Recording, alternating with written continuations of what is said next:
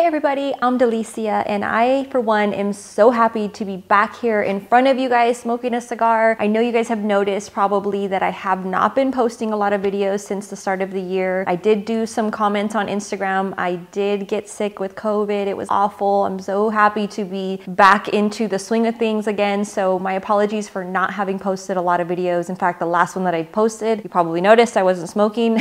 I was still coming off of everything. So again, I'm just super thrilled to be back. And and coming back strong, I actually have a very special five pack to be offering to you guys this beautiful Sunday. Um, I've done a couple now in conjunction with Padilla Cigars. And so um, I called up Ernesto again and I said, hey, dude, I've been sick. I need something really special to come back strong. And he actually really surprised me because he has offered um, some amazing cigars for me, for you. I'm super thrilled. And so I'm gonna get into these beautiful cigars that are gonna be um, available to those of you watching, to a limited amount of you watching, I should say, because there is only a handful, I guess you could say, a large handful. There's 100, 150 of them available for you guys. So make sure that if you um, see something in here that you like, that you don't procrastinate because I can guarantee you they will not be available for long long.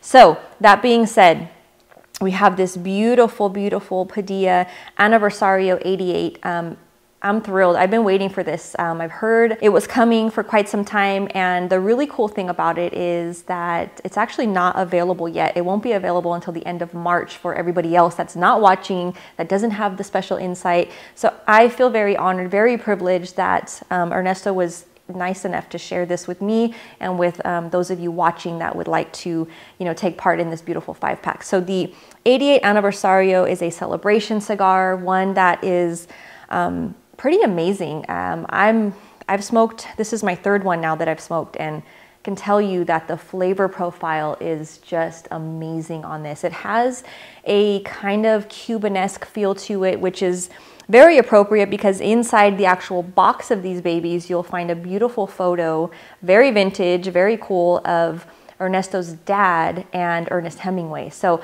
um, being an Ernest Hemingway fan, I actually visited his home in one of my Cuba trips, and it was like the, one of the coolest experiences. So, when I saw that, it just kind of put it all together for me, and it's like, if you feel like you're smoking something nostalgic, if you will. The flavor profile is beautiful. You get underlying notes of cedar. It starts off with a pepper blast to it, kind of a pretty much a black pepper, a little bit of the lighter pepper in there, but more so black pepper. It develops and you pull um, a little bit of earth to it. You get um, not a lot of nuttiness to it, but just a little hint, but definitely pick up the cedar and the earthy notes, the pepper. It's just a really balanced, again, um, I could see the cigar pairing with a number of things very easily. You can pull out a lot of different flavor notes as you smoke it down, even a little hint of citrus in there. So really, really nice. Um, just a beautiful, beautiful cigar and a beautiful box. So the story with this one is actually, it was supposed to come out last year. It's made at AJ's factory in beautiful Esteli, Nicaragua. Supposed to come out last year, but then COVID happened. And so it actually has been sitting there, already rolled, already blended, all that stuff um, sitting there for uh, about a year waiting to be released to all of us to smoke. And um, so there's that extra aging on top of the already aged tobacco in this cigar that's anywhere from four to six years depending on you know which um, leaf variety is in here. So it happens to be a Nicaraguan puro. It has the very flavorful criollo and it also has corojo and then it has the super rare pelo de oro strain right from Cuba that actually was a seed varietal that um, was almost extinct for a while. So it's a really cool story and just um, a really beautiful offering. And I'm very excited again to be uh, among the first to smoke it and definitely the first to offer it to all of you. So thank you so much, um, Ernesto, to Padilla Cigars for offering this exclusive, um, you know, five pack for us. So again, I'm very excited about that. I'm a geek. You guys know me. I totally geek out on tobacco, but this is really, truly a very special cigar. So um, if I were you and I was watching, I definitely wouldn't um, procrastinate because as I mentioned, there's only about 150 of these five packs available for you guys. So just a beautiful cigar with a lot of history and um, yeah, I couldn't be more excited. It just, it smokes so well and um, like I said, it just it can pair nicely with a lot of different things. Or you could smoke it just all by itself with a glass of water and you'd be happy because it has a lot of good balanced, beautiful notes to it. Mm. Just love it. So moving on. So this is kind of a, a rarity in the five pack case because we have one cigar, but three different vitolas. So this cigar is why the five pack is limited. This particular batch of these Padilla vintage reserves were, it was kind of one of those things that you would imagine getting this story on a card in one of your um, Privada Cigar Club boxes. It's like this particular batch was almost like it was forgotten. so these are made at the infamous Raíces Cubanas factory in Honduras, um, home to many award-winning cigars. They make some incredible cigars coming out of that factory. This particular batch, as I mentioned, was kind of like forgotten. So two and a half plus years of this batch of, of the Padilla Vintage Reserve, which by the way holds um, several 90 plus ratings in some of the different cigar magazines floating around out there. So it's a fabulous cigar, a lot of um, just really nice flavors that come through. But this particular batch again was um, basically found there. It had been aging two and a half plus years. Um, one of those little special treats, hidden gems. I love when that happens.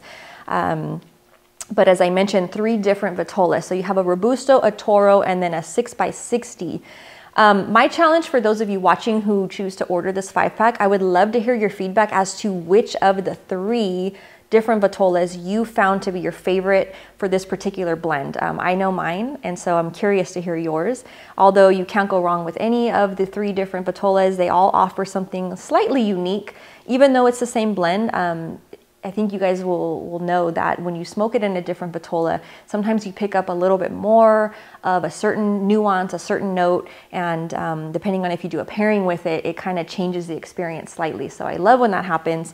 This one, as I mentioned, um, just some beautiful notes to it. So you are gonna pick up the leathers, um, you get a nice nutty profile, and then that kind of like a vanilla spice that trickles in. So just really, really nice profile on this one.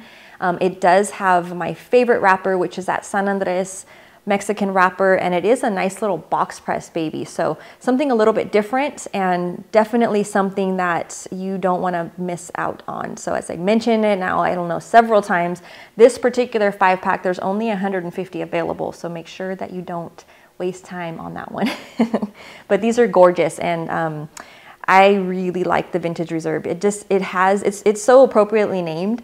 It has that vintagey feel with the leather and then especially when you when you first light it up, you get these beautiful aromas, that nice welcoming, you know, leather bomber jacket type of feel to it. So just a real treat. And again, these um, three different vitolas, so something for something for everybody. Um, I've been surprised in the recent months. Um, you guys know me, I'm not a huge fan of the larger ring gauges, but I've been pleasantly surprised. I've smoked a couple larger ring gauge cigars in the past few months that really surprised me. I liked them, and it's not my normal um, go-to size for sure. But um, you know what? I'm, I'm, I'm kind of like expanding that now. I can't say that only Lanceros anymore because I have smoked some of the larger ring gauges and I've found that they do offer uh, some good flavor when done correctly. And this one is done correctly. So really, really nice. And last but not least, we have the beautiful Padilla Finest Hour Sun Grown. So this one made my top 10 list of cigars for 2020. Um, as I mentioned in that video that I did, it was a really tough year to select uh, like a top list of cigars. There were so many good cigars. This one made the list, this Finest Hour Sun Grown, done by AJ and Ernesto Padilla together. Um, wow, just an incredible cigar. I love this cigar. It's perfect for any time of the day. You can do a number of pairings. I like it with coffee, of course. You can do this with scotch, you could do this with rum, you could do it with water, you could do it with a Coca Cola. It's a beautiful cigar, has a tremendous amount of flavors. Um, I've just, I've talked about it before, but I will give you an up close look at this one. It does have a Nicaraguan Habano binder to it. It's also wrapped in a beautiful Nicaraguan sun-grown wrapper, and then it has uh, Nicaraguan filler, so you get the sun-drenched cedar, you get the cocos in it.